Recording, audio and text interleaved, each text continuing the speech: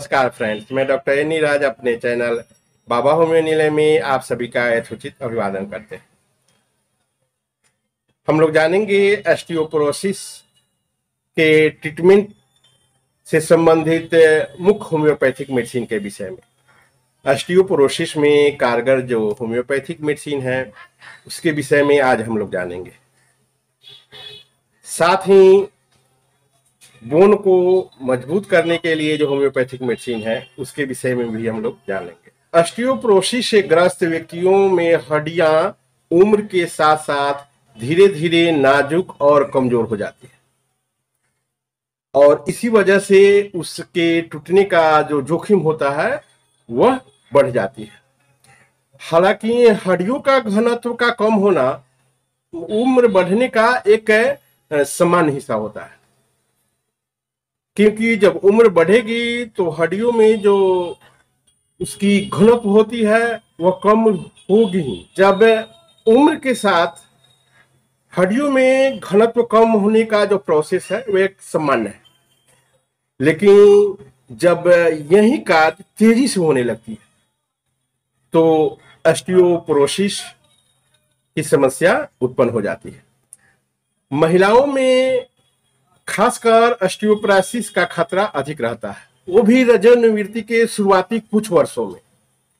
यह जो आशंका रहती है, वो बढ़ जाती है। इस स्थिति में ज़रूरी नहीं है कि लक्षण दिखाई पड़े। हालाँकि अस्टियोपोरोसिस से पीड़ित लोगों में हड्डियों की कमज़ोरी की वजह से दर्द होती है। और वे फ्रैक्चर के प्रति अति संवेदनशील हो जाते हैं। हो सकता है इस समस्या से पीड़ित लोगों में कुबर विकसित हो जाए, क्योंकि ऐसे लोगों में शरीर का सही मुद्रा बनाए रखने की जो क्षमता होती है, शक्ति होती है, वह कम हो जाती है। फ्रेंड्स आइए जानते हैं अस्टियोप्रेसिस में कारगर होम्योपैथिक मेडिसिन के विषय में। इसकी जो पहली मेडिसिन है, वह है calcarea phos calcarea phos medicine osteoporosis के लिए बहुत ही कारगर। है शरीर में कैल्शियम की कमी हो जा रही है, इसकी पूर्ति कैलकेरिया फॉस कर देती। होम्योपैथ की कैल्शियम की दवा कैलकेरिया फॉस को मानी जाती। फ्रेंड्स, कैलकेरिया फॉस उन बच्चों के लिए फ़ायदेमंद है जो चिरचिरे कमज़ोर पाचन तंत्र और हाथ पैर ठंडे होने जैसी समस्या से पीड़ित रहते हैं। यह chronic wasting disease non union type fracture और हड्डी और हड्डियों के रोगों का इलाज करने में मदद करता है। पीठ, गर्दन, हाथ, पैर, इन सब में कठोरता।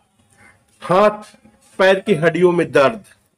नितंबों और पीठ में दर्द। ठंड या नम मौसम में यह लक्षण बदतर हो जाते हैं और रोगी की सीढ़ी चढ़ने पर थकावट महसूस होती है। यह लक्षण शुष्क और गर्म जलवायु में बेहतर हो जाते हैं। तो कलकरिया फॉस इन लक्षणों के आधार पर बहुत ही बेहतरीन मेडिसिन है। फ्रेंड्स, इसकी दूसरी मेडिसिन कलकरिया आयोड। एस्टियोपोरोसिस की जो दूसरी मेडिसिन है, वह है कलकरिया आयोड। यह जो मेडिसिन है या अधिक वज़न वाले बच्चों के लिए सबसे उपयुक्त है। जिन बच्चों में अक्सर सर्दी की समस्या रहती है, पैरों में कमज़ोरी, घुटनों में दर्द, विशेषकर रात के समय, और उंगलियों और हाथों में सुनपन की शिकायत अगर यह सिम्टम्स है तो कलकेरिया आयोड बहुत ही अच्छी मेडिसिन है। आइए जानते हैं इसकी तीसरी मेडिसिन के विषय में। वह है शिम्फाइटम यह दवा आमतौर पर जोरू पर कार्य करती है। ऊपरी जबरे की हड्डी में सूजन, जलन और लालिमा। पेरियोस्टोम में चुभन वाला दर्द।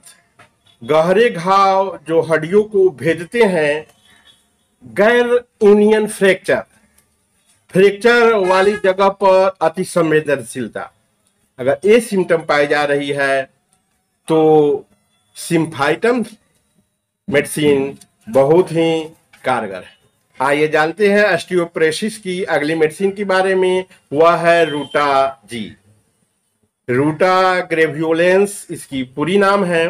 हम लोग रूटा के नाम से भी इसे जानते हैं यह मेडिसिन उन लोगों में अच्छा कार्य करती है जो थके हुए, कमज़ोर और उदास महसूस करते हैं।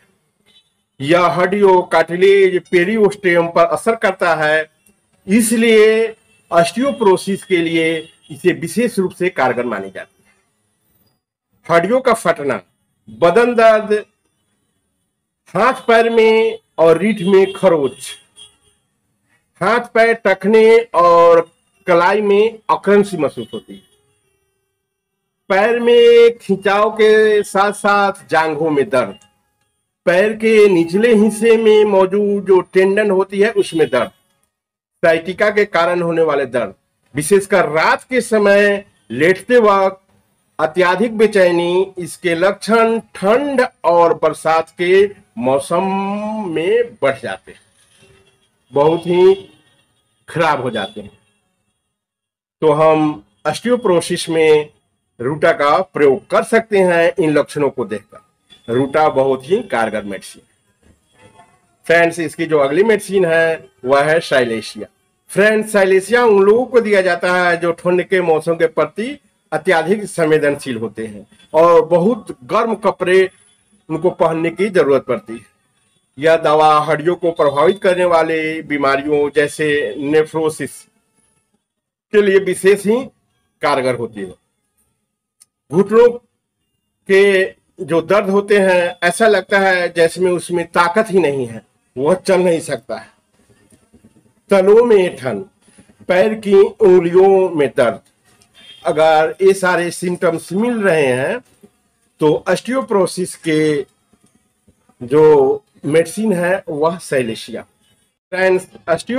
में कारगर होम्योपैथिक मेडिसिन में कलकरिया कार भी है। यह बहुत ही कारगर मेडिसिन है। कलकरिया कार उन मोटे लोगों में अच्छा कार्य करती है, जिन्हें ठंड के मौसम में भी पसीना आती है। बाहों और पैरों में कमज़ोरी रूमेटाइड पेन विशेषकर बरसात के मौसम में। जोरों में सूजन, असंतुलित पोषण, मांसपेशियों का फटना, मोच इसके लक्षण ठंड या बरसात के मौसम में शारीरिक या मानसिक थकान के बाद खड़े होने के दौरान और पूर्णिमा के दौरान बढ़ जाते हैं। अगर इन लक्षण मिल रही है तो अस्टियोपोरोसिस की कलकरिया कार बहुत ही अच्छी मेडिसिन है। हम इन लक्षणों को देकर कलकरिया कार्ब का इस रोग में प्रयोग कर सकते हैं। फ्रेंड्स मैंने जो भी मेडिसिन का वर्णन की आप लोगों की जानकारी के लिए थी, जब भी आप अगर ट्रीटमेंट लेना चाहते हैं तो नज़दीकी डॉक्टर से संपर्क कर लें, उनसे सलाह लें, उसके बाद ही मेडिसिन का प्रयोग करें। थैंक यू धन्यवाद।